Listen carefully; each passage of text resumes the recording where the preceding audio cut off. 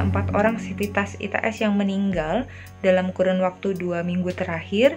Dengan ini saya menjawab, iya memang benar dan kami juga telah menyampaikan berita ini melalui obituary yang muncul di sosial media ITS bahwa ada empat orang sivitas ITS yang meninggal dalam kurun waktu dua minggu. Benar, empat orang sivitas ITS yang meninggal terpapar COVID-19, kami menyampaikan bahwa dua orang sivitas ITS meninggal dunia karena terpapar COVID-19.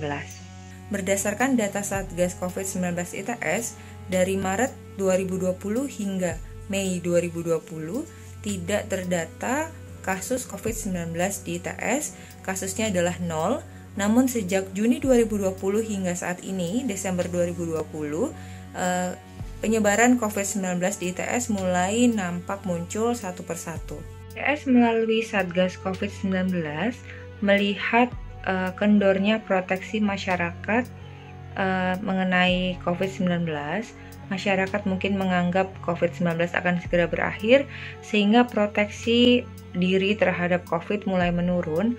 Oleh sebab itu, Satgas COVID-19 ITS bersama para pimpinan ITS melakukan rapat koordinasi yang menghasilkan surat edaran yang dimunculkan pada tanggal 25 Desember 2020 kemarin, di mana semua ini dilakukan untuk keselamatan dan kesehatan seluruh sivitas ITS. Sekali lagi, kami memohon doa dan dukungan untuk semua sivitas ITS yang sedang terpapar COVID-19. Semoga segera sembuh dan bisa bekerja seperti sedia.